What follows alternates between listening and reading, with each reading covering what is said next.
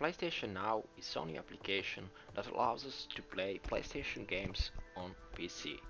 That includes PlayStation exclusives like God of War or Last of Us. Uh, to find out more details uh, about PlayStation Now, including how to use it for free, check my video in description. Uh, one of requirements of PlayStation Now is a PlayStation gamepad. But what if I told you that there is actually a way to use any controller with PS Now, including that nice Logitech controller that you already bought? And it's pretty easy. I'll assume that you already installed PlayStation Now and registered. All you need to do now is locate installing folder.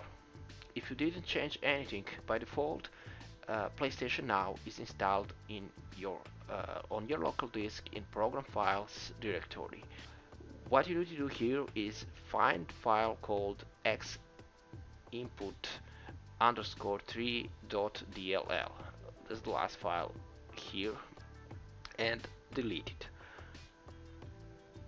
After that download a little application called x360 underscore c.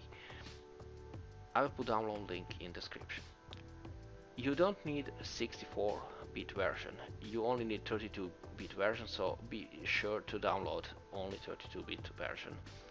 Uh, unpack after download it, unpack it on your desktop and just copy in PS Now folder or uh, drag and drop it there.